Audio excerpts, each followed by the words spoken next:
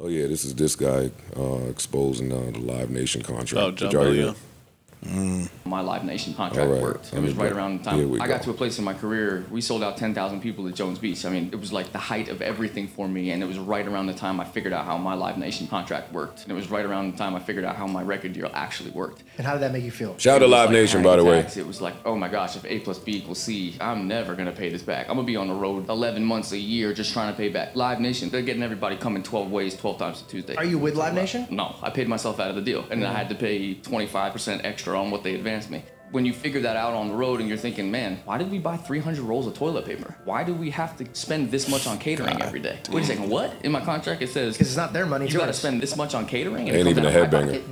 Pocket. But then I have to pay an advance back. And by the way, the advance that you have to give me is only on hard ticket sales. So the concept of peanuts, parking, and alcohol. When That I ain't the sell out 10,000 people at Jones Beach, the person who buys a $20 hot dog, I don't see a dime of that. The mm. person who buys $40 for parking, I don't see a dime of that. And the mm. person who buys $20 vodka and Red Bull, I don't see a dime of that. And then Which you is advance most of the a people. million dollars and tell me I'm rich to then find out that you're making $4 million a night. It takes me 36 shows to pay back the $1 million you advanced me. It's a loan. It's a fake loan. Wait, it's here a we fake go. loan that it's like we're gonna give you a loan so you can make our money off of your creation. Come on, get to the And then hit me. Oh my gosh, they own all the venues. It's a monopoly. So then now they just want my body in this room so they can sell food and alcohol. So then they're gonna make tons of money. And then they got me like schlepping around the United States talking about I want to be famous. So when you figure Like that out. Joe Schmo pays twenty dollars for a hot dog, and I don't see that. And if I'm only making my advance back on hard ticket sales, that means I have to sell out every single venue in order to not go in the red because I'm only paying my advance back on hard ticket sales. And by the way, Here we go. they reserve the right in the contract to put the tickets on sale. So when it's hundred dollars a ticket and they do their summer blowout sale, the tickets are only ten dollars. So instead of me paying back ninety dollars a ticket right before they I just go want on bodies tour, in the door. they drop a Jon Bellion sale and the tickets are only ten dollars. and they gonna still make their money off the Everything else. sodas, the juice. Crazy. Then we went to the show. It was, Yep. They got their own special Bruh, water. Live com- Nation got Yeah. every bro. They got the parking lots. Mm-hmm. Like when we- I was in um I forget some, some venue in Philly. I went to somebody's show down there, and they have a bunch of parking lots. And I'm looking like yo.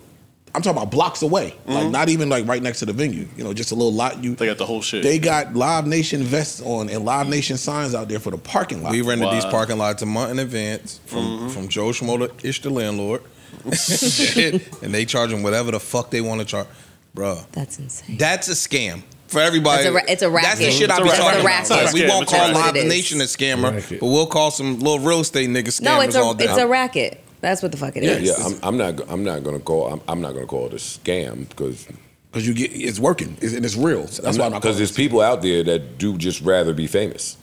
true. I agree, Mm-hmm. but they want to be famous under. Fa- I ain't It's- gonna say it's- it's- false. it's- it's I'm not gonna say false pretenses because it's your obligation or your attorney's obligation to read your contract. Mm-hmm. So if you signed it, then it's not somebody scamming you. But if they signed it under false pretenses that you don't have no control over, like my nigga, uh, he said he had to do 36 venues Mm-hmm. to pay that back their money. Based but you don't ticket. control the ticket price. Mm-hmm. So yo, I got to do 36 venues if it's hundred dollars a ticket. But if they want to give a Christmas sale for 25 dollars, now that might triple or quadruple the amount of venues I got to get to pay your money back. But they just did that. That's why it was all that talk about Meg's tickets being twenty eight dollars or mm-hmm. whatever. But it wasn't just Meg. They had brought down a few the price of a few artist shows. Yo, that's crazy. What I've learned is there's a scam with everything. One, Yes. two. There's going to be a lot of people volunteering for the scam. True. Mm-hmm. That's true. So it's tough to it's tough to know who should get the message of correct. hey, not this way versus the people that by hook or by crook I'm getting this done. New Joe Budden.